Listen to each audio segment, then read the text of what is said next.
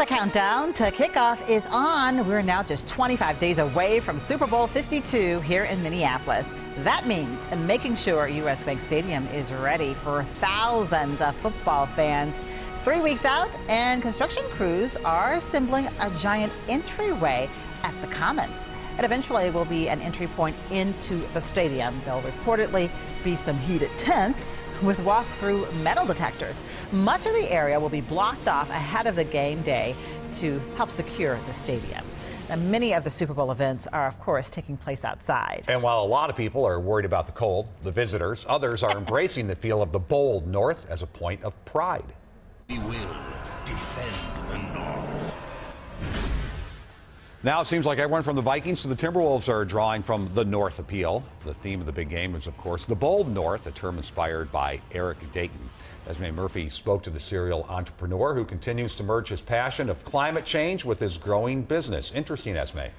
Well, that's right. I can tell you this long gone are the days when Eric Dayton was primarily known for being Governor Mark Dayton's son.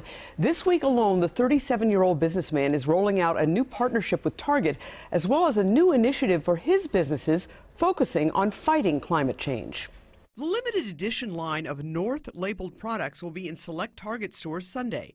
The lookbook models include Zach Parise and former Vikings and team broadcaster Ben Leber and his children. The Target line is modeled after the line of hats and other North products that debuted in 2013 at Askov Finlayson, the North Loop store founded by Eric Dayton and his brother Andrew in 2011. You know, it's just a chance to, to show our pride, to tell this to tell this North story uh, to the rest of the country, the rest of the world. And it's a chance to partner with Target, which was founded in 1962 by Dayton's grandfather and his brothers. For me, given my family's history there, it was all the more meaningful. Dayton is thrilled that the North label is suddenly everywhere. To see it, you know, popping up uh, you know, with the Super Bowl and with professional sports teams certainly exceeded our initial expectations of what this could become. Askov Finlayson announced earlier this week the business will be calculating the cost of their carbon footprint and donating 110% of that number to climate change causes. 110% every year.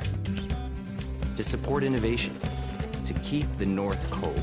Dayton's advocacy for all things winter even prompted the Star Tribune to feature him on a recent magazine cover, calling him the King of Cold. I'm getting sick of me. I can only imagine how everyone else uh, how everyone else feels. But you know, this is this isn't about me. This is this is really, as, as, I said, this has really become a movement. A movement Eric and his wife Cornelia are already passing on to their sons. Hugo, four, and George, who is almost one. To see winter now through the eyes of a four-year-old and to kind of rediscover that childhood joy of, of winter is, is just a lot of fun to see.